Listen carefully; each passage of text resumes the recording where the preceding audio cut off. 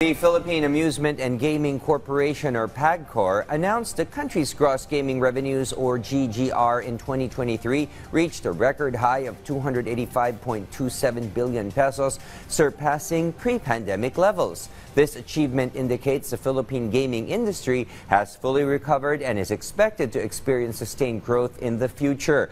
PAGCOR Chair and CEO Alejandro Tengco stated the industry's adaptability and resilience were demonstrated by the increase in GGR from a low of 98.79 billion pesos in 2020 to 214.33 billion pesos in 2022, leading to the record-breaking performance in 2023. The integrated resorts and the electronics game sector were the main contributors to the GGR, with PAGCOR-operated casinos also making a significant contribution.